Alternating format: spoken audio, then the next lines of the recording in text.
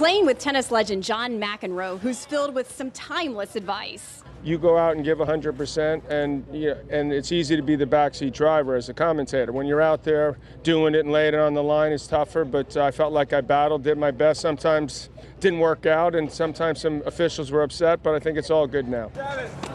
But seriously, John McEnroe works his way around the court almost as seamlessly as the days when he'd throw fits against the umpires.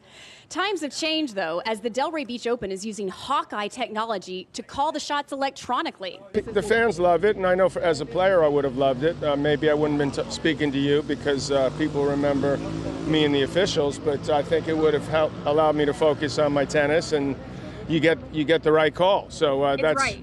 You know I, I believe it is. So you would only be able to contest it with Snapchat, Snapchat, text, or uh, Twitter. Well, I guess I don't do that stuff, but uh, yeah, I, I'm sure I could figure something out.